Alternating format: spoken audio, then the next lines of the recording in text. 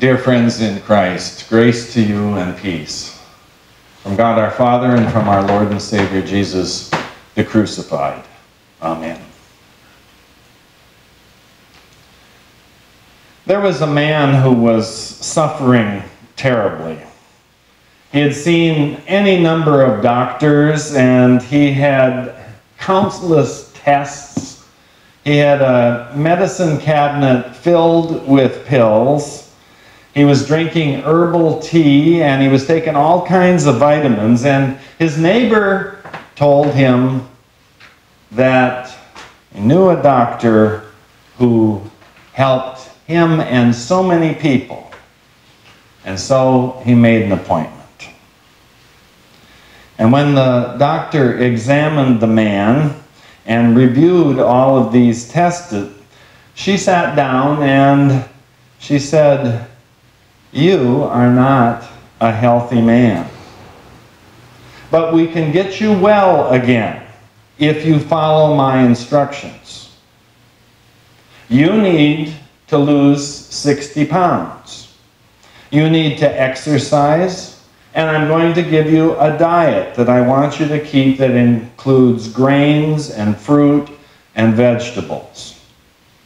And you don't need to take any of that medicine you have in all those pills bottles.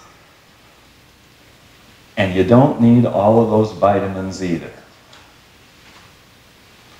Well, the man became angry and he demanded to have some prescription.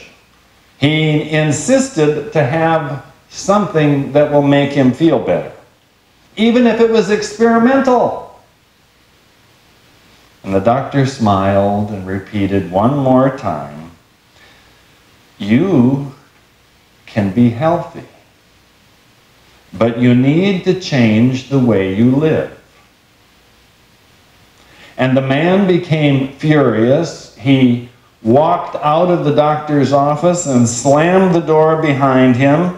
And from the rest of his life, his sickly life, he was telling everyone what a hoax this doctor was and that she shouldn't even have a license to practice.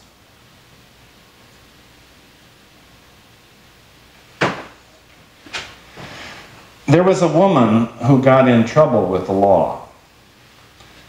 She had run up all kinds of debts, and in order to pay her debts, she started to embezzle from the company she worked for. They discovered the embezzlement and they brought charges against her. She was using the money to buy booze. And in fact, when she had been arrested many times on a DUI, but now this last time, a pedestrian was killed. A friend told her about an attorney who seldom lost a case. And so she agreed to go see him. And she walks in and she said what her story was, and I want you to get all these charges dropped. Having heard her story, the attorney says to her, What you did is wrong. You're going to have to spend some time in prison. And after you are released, you will need to go into a recovery program. You'll need to get a job, and you'll need to repay the company that employed you all that you embezzled from them. And if you do all of this, you will get your life back again. And the woman was furious. I don't need you to give me a lecture. I need you to get me out of this situation and get these charges removed and dropped. And so she started a letter campaign to get this lawyer disbarred for refusing to help the client.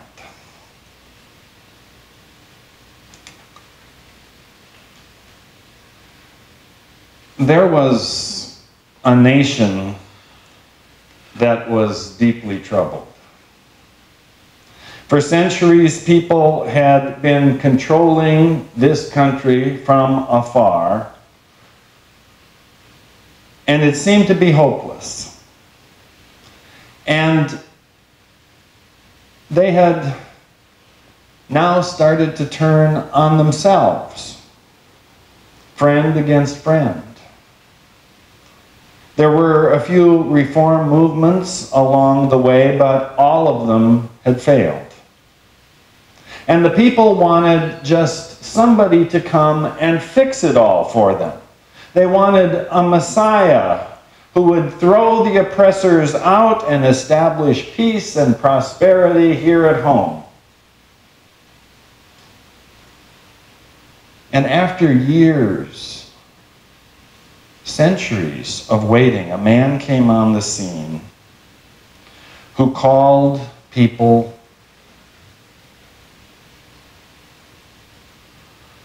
to love one another and to forgive one another. He healed sick people. He fed hungry people. He even provided the best wine for the wedding reception and lots of it. And he became angry with those who exploited the poor and the frail. And he could hold his own in an argument with the scribes and the Pharisees. Some people saw this man and decided that he was the one that was going to save the nation. That he was the one who was going to put everything right. That he was the one who would get rid of these Roman oppressors.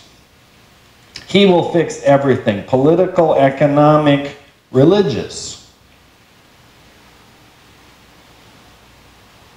And one day, this man comes riding into the capital city on a donkey.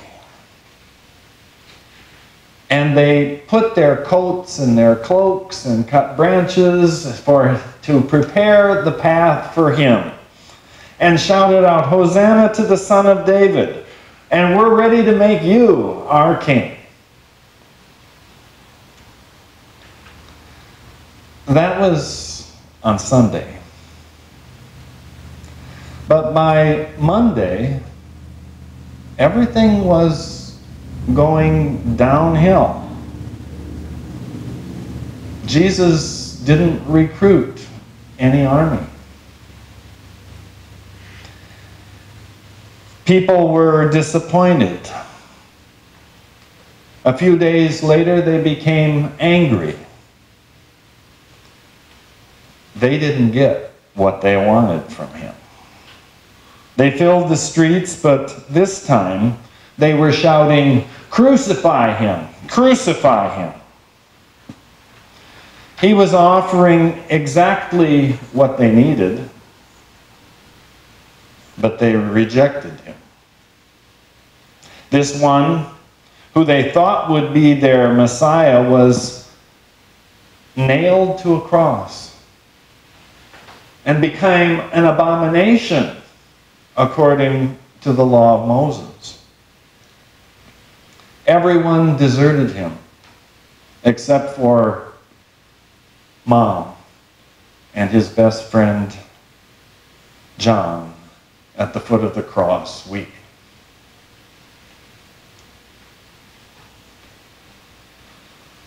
The world has a history of denouncing and sometimes killing those who offer what we really need.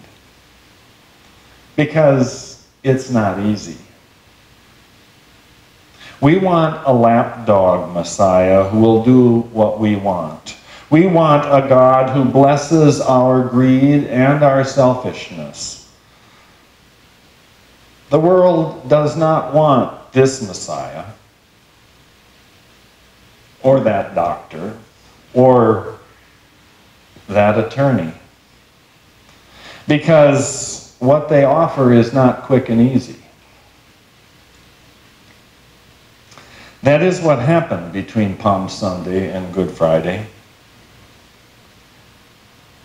When Jesus was taking on every fear, every hate, every false expectation, and even death itself. The temporary delight and the shallow religion of Palm Sunday is exactly what crucified him and buried him in that tomb. But it was for our sake that all this happened, that true trust will be raised in their hearts, in our hearts, by the resurrection victory of Easter. All we need to do is to surrender our false expectations and our selfish hope. But that is hard to do. So watch Jesus this week and those offering advice to him about what he should do. As we watch the virus this week and listen to many voices telling us what we should do, as we watch Jesus and the world around us, ask yourself, who will be offering the easy way out? What we want to hear. And who will be offering the difficult way? What we really need to hear. Amen.